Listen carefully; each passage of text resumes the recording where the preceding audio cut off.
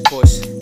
Let me hide the money in the dashboard. Max mad, could you lost the brick inside the Porsche? Goofy with